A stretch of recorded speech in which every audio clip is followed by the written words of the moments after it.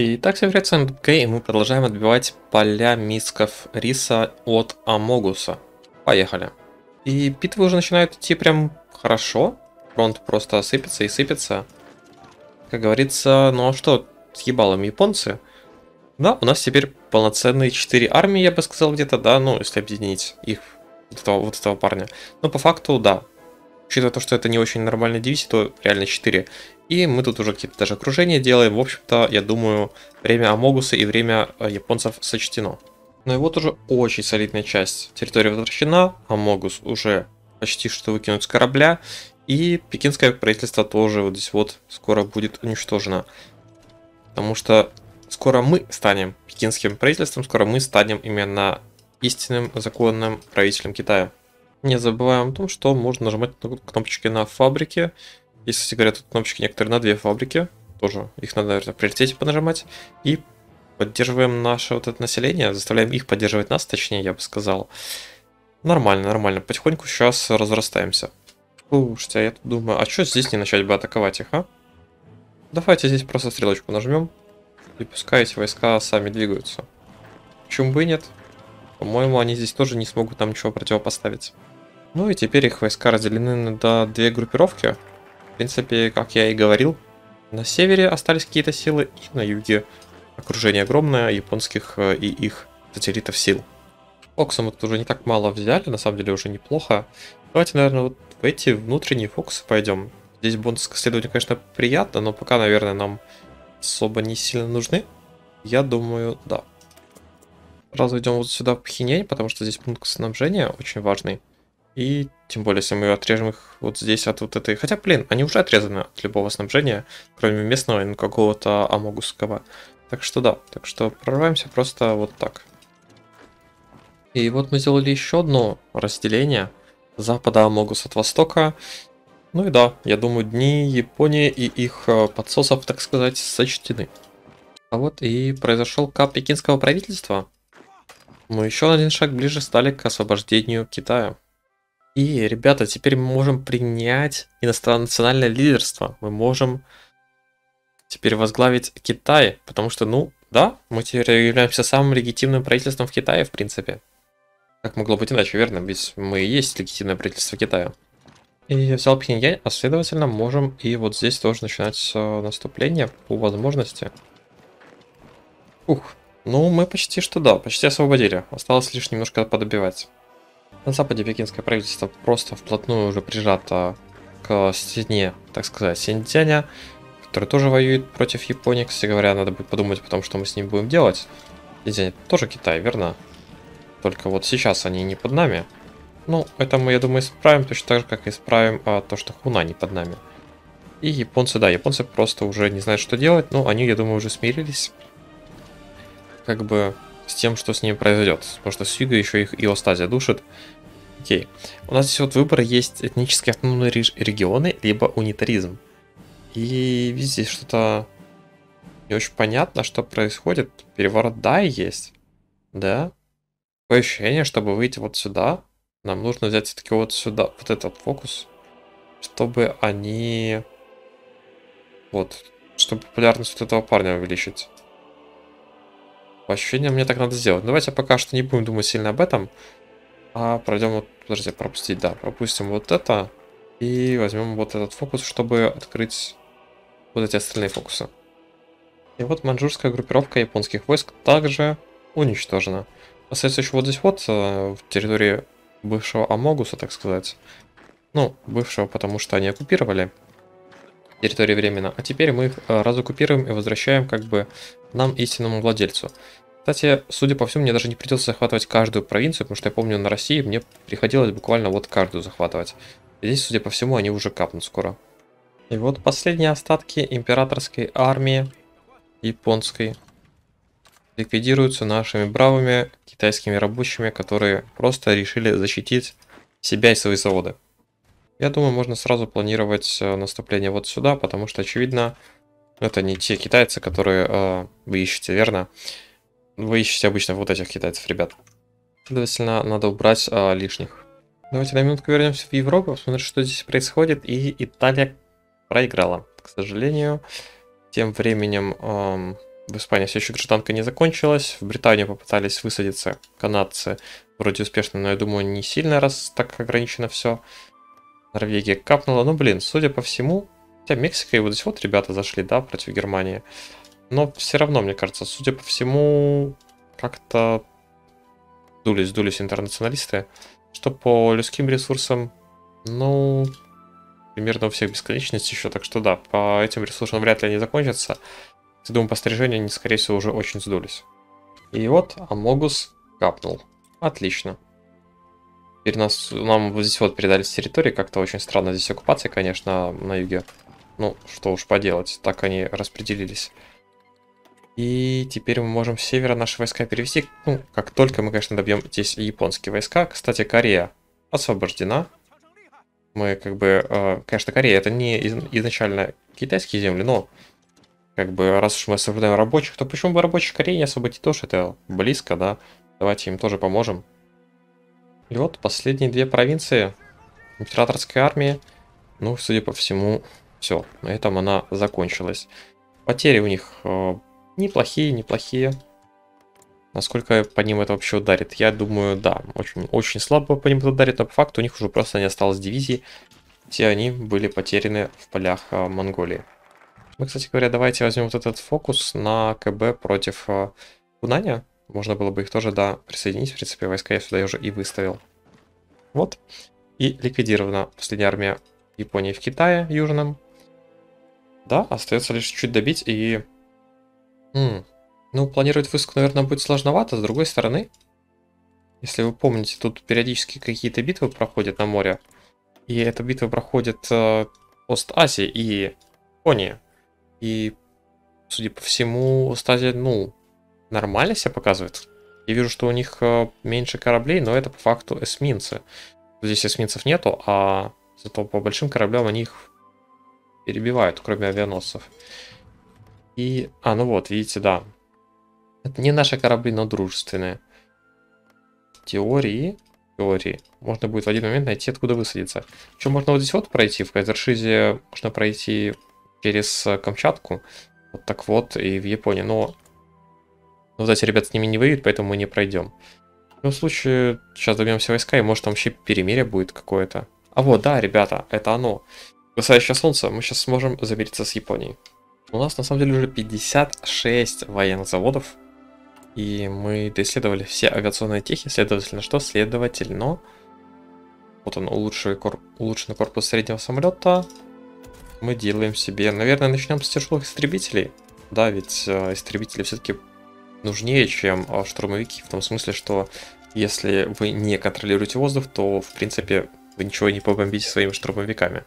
Ну, вот такое вот казуальненькое, я думаю, мы и сделаем. И иконочки, ну, иконочек здесь, к сожалению, прям красивых нету, все только дефолтные. Давайте, ну, какую-то хотя бы, ладно, это потому что это может какой-нибудь ну, совершенствованный вариант потом будет. Вот они, наши первые китайские самолеты. Очень тяжелые, очень мощные, очень хорошие, очень дорогие. Ой, я, кстати говоря, смогу теперь расформировать вот этих вот ребят, которые не обученные, там, ополчение, вот это все, плохие шаблоны. Кайф. Наконец-таки это, это настало. Здесь полностью все добито. Можно эти войска выставить, не знаю, куда-нибудь здесь. Давайте-ка... Просто только такой. А что будет с Кореей по этому миру? Просто дело в том, что я не хотел бы оставлять Японии Корею. Да, я хотел бы, чтобы японцы вообще отсюда свалили. Поэтому сейчас будет интересно, что здесь произойдет. Мы тем временем продолжаем интегрировать к себе территории. Желательно начинаем с тех, которые побольше имеют э, фабрик и заводов военных. И вот оно. Выдача солнца. И да, мы попробуем замириться. Ну, вопрос только нам Корея тут или нет. Э, важный вопрос, кстати. Скоро узнаем. Крах Японской империи, солнце садится. Мир с э, империей выдающего солнца, пропадающего. Так, эм, мы не заслуживаем ничего меньшего, и вот он мир. Блин, Япония все-таки Корею себе, ну, не оставит, но как бы такой, типа... Типа под нейтральным каким-то контролем, непонятно совсем. Так, забираем все территории, конечно же. О, господи. Забираем все, все территории. А, нет, подождите-ка, что? Сейчас, и сейчас мир будет с Японией отдельный или что? С, скорее, скорее всего, мир, походу, будет. Просто тут я вижу две пробки, выделилось неудачно. И мы сейчас отдельно с Кореей замиримся, походу. И мы нереально интегрируем сейчас прови провинции. Эти войска, можно, господи, какие же они тут бешеные все, просто нереально обученные, куча ветеранов. Да, эти, эти люди видели некоторое дерьмо в Манчжурии, в Монголии, в горах э, Южного Китая, как говорится. Да, это, это реально люди, которые видели уже в своей жизни, наверное, почти что все. И давайте да, обучаем тех, кто вдруг еще не обучился. Несколько таких дивизий всего есть. Ну, можно их тоже довести до хорошего уровня. Остальные, видите, да, конечно, безумно качанные.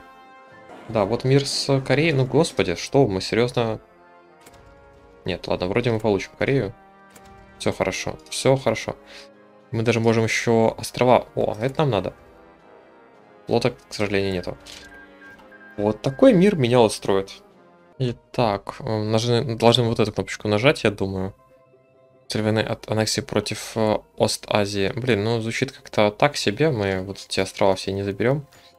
Как бы и респект, я думаю, нам сильно ну, смысла воевать нету. Мы планируем только Китай контролировать. Давайте теперь попробуем, я сохранился, вот эти фокусы взять. Они спровоцируют вот этого парня. И, наверное, если мы возьмем вот эти два фокуса, то будет переворот. Можно даже поискать. Да, все правильно. Надо те, которые мы не выбирали брать. Итак, а, вопрос налогов. Мы же должны их ослабить, или мы все еще в опасной позиции? А, я думаю, не надо поддержку населения сбивать. А, давайте облегчим их бремя, потому что, ну, да, по факту мы уже не в такой опасной ситуации. Итак, мы должны выбрать теперь нашу постоянную столицу. Когда конгресс закончится, мы разблокируем фокус выбрать э, столицу. А где это? Хороший вопрос. Когда-нибудь мы где-нибудь это увидим. О, реинтеграция севера. Когда закончится конгресс, мы сможем реинтеграцию севера. Вот это, это уже я знаю, где находится. А столица... А, вот столица, все, я понял. Отлично, окей. Конец конгресса. Мы теперь Республика Китай. Китайская республика, вот она. Отлично. На теперь просит демобилизация, но пока что нет. А, судьба Кореи, военная оккупация, либо Корейская республика. А, Давайте сделаем лояльную Корейскую республику. Отлично. Тут у них еще и свои фокусы есть. Это, вот видите, в зависимости от того, как они появляются, есть какие-то вечная революция, еще что-то. Ну, вот есть фокусы для независимых, а есть для зависимых. То есть продумано то, что вот Китай может потом выделить Корею. Это мне нравится. Ну, я думаю, демобилизацию экономики проведем, как только сотки достигнем, да, вот этой вот дней. Пока что пускай под э, тотальной мобилизацией еще построят э, немножко военных заводов. А у нас есть политика, давайте нажмем подготовиться к войне и не забываем индустриализацию проводить, не забываем потихонечку интегрировать какие-то территории.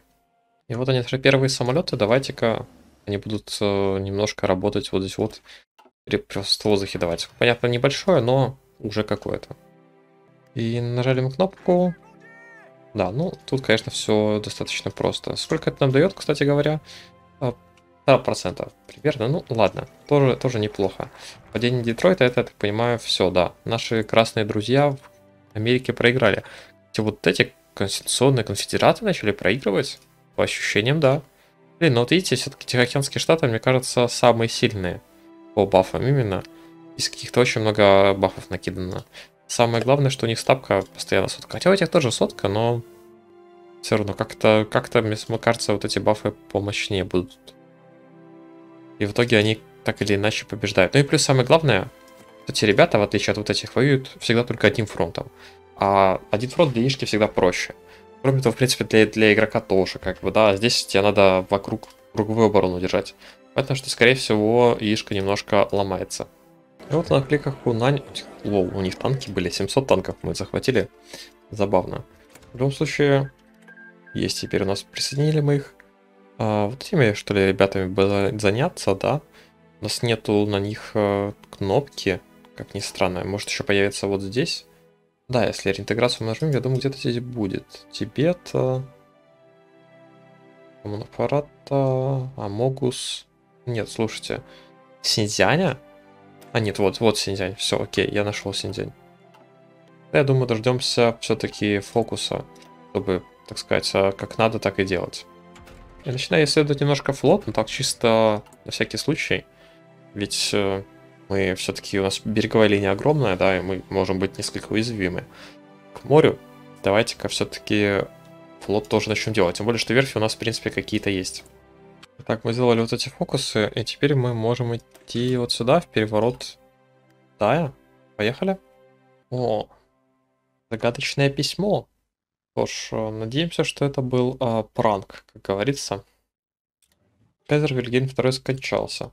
Ну, жалко старика. Теперь там Вильгельм III. Но войну это вряд ли изменит. Кстати говоря, британцы выкинули канадцев. Ну да. Мы нашли источник. Так, здесь какая-то встреча странная, но безобидная, да? Давайте это нонсенс. Не разведывайте встречу. Итак, через месяц что-то произойдет. Отправляем полицию, но мне кажется, мы уже опоздали. Итак, полиция сказала, что ничего странного не происходит. И, наверное, шпион врет. Это очень странно, потому что он самый доверенный шпион. Что-то происходит. М, что происходит? Так, очень серьезное дело арестовать. Ага, и оказывается, что действительно существует этот заговор, и они уже проникли на всех уровнях. Все. Не... Неожиданный поворот событий. Ну давайте-ка идем сразу вниз. Теневое правительство, безжалостное, безжалостное правление Дайли. Вон за, за расшифровку гражданского и армейского шифра. Я так немножко вниз спущусь. У нас тут потом будет а, не... Знаете, вот есть Пруссия, это типа армия со страной, там есть у американцев здесь флот со страной, а у нас э, разведывательное агентство со страной. Как бы мы знаем, кто в этом мире создаст э. И создаем мы также тактические бомбардировщики. Отлично. У нас теперь и вот эта часть авиации тоже есть. Я стараюсь все закупать во Франции, чтобы им фабрики давать и бустить их хотя бы как-то. Вроде от этого толк есть, но вообще не очень понятно, кто сейчас победит э, в войне. Это вот в Втором Вилькриге. И теневое правительство готово. Дальше мы идем движение с новой жизнь. Эм, Давайте-ка подумаем, что мы хотим. Мы хотим доделать сразу политический фокус, либо что-то еще сделать. Я думаю, да, давайте сразу по политическим. А сюда мы сами сделаем вот так вот КБ. Произошло падение Рима, это Австрия сховала. Любопытно. Австрия, кстати говоря, еще все еще войну не зашла. А, как, хочу ли я как-то помочь Интернационалу? Я думаю, да. Добровольцев можно было бы послать, но я думаю, это не так интересно и правильно. Давайте отправим им поддержку. Они ведь нам все-таки, помните, столько всего надавали. По возможности дадим какой-то кэшбэк. Поэтому все вот это снаряжение, что у нас есть, мы им отдадим. Да, я верю в французов. Правда, есть нюанс, у них нету конвоев, да. Есть вот э, нюансик маленький. Ну, попробуем им что-то как-то про это провести. Но шансы, конечно, не сильно радужные. Давайте уже демобилизуем экономику, пускай мужики э, почилят. Мы можем доиндустриализовать, да, мы хотим все эти кнопочки попрожимать. И, наверное, давайте продолжать э, интегрировать территории. Как движение за новую жизнь готово, однопартийное государство. Мы можем выбрать... Ага, ага. Давайте сделаем. И мы идем в автаркию. И у нас, да, фабрик стало очень мало, учитывая то, что мы кучу всего покупаем и демобилизовались. Конечно, покупаем мы прям слишком много, наверное. Давайте, знаете, что мы сделаем? Мы сделаем вот это. Использование нестратегических материалов верно? Чтобы алюминий немножко скинуть. Все-таки, ну, уж очень, уж очень дорого это нам обходится по алюминию. Посмотрите, как, насколько все дешевле стало. Я думаю, наша экономика не настолько большая, чтобы позволить себе без алюминия производить. Точнее, с алюминием производить. Просто бэм. 11 фабрик. 11 фабрик мы давали. Давайте фабрик настроим, потом, может быть, э, куда-то вернемся к обратно. Но пока, пока вот так. И теперь создаем агентство, ведь помните, да? Мы скоро будем агентством со страной. И у нас теперь идет встреча о определении лидерства. А параллельно мы будем решать, где же будет наша новая столица. Как бы сюда вот готов, поэтому армии, я думаю, какую-нибудь стоит туда отправить. Давайте вот эту. Здесь куча непроходимых территорий, это нам здесь приказы будет ломать, ну, что поделать. Ну что ж, я думаю, на этом мы и подзавершим текущую серию. Наша новая Китайская Народная Республика готова. Она теперь огромная промышленная страна, 88 заводов военных. Да, уже больше, чем у Франции. Мы теперь будем потихоньку пытаться помочь здесь ребятам. Добьем Синьцзяня, восстановим как бы полностью весь Китай. Потом будем думать насчет городов концессии. Скорее всего, их тоже мы вот это поддушим. Скорее всего, еще и потом с Остазией какой-то, раз там и Бирма рядом, то и с Бирмой, тоже нам нужно будет разобраться, чтобы нас точно обезопасить. Для этого я, как вы можете видеть, здесь уже потихоньку выкачиваю морские техи. И, скорее всего, буду крейсерами делать какую-то, ну, грязь. Посмотрим. Конечно, все равно нам будет тяжеловато, когда у них вот такой флота, у нас нету. Но если они капнут, Остазия капнет, то мы получим их флот. Мекаете, да? Ну, с вами был Добгай. Подписывайтесь, если вы еще вдруг не подписаны. Лайк, комментарий, Twitch, Discord. Все, ребят, как обычно. И до скорых встреч. Пока.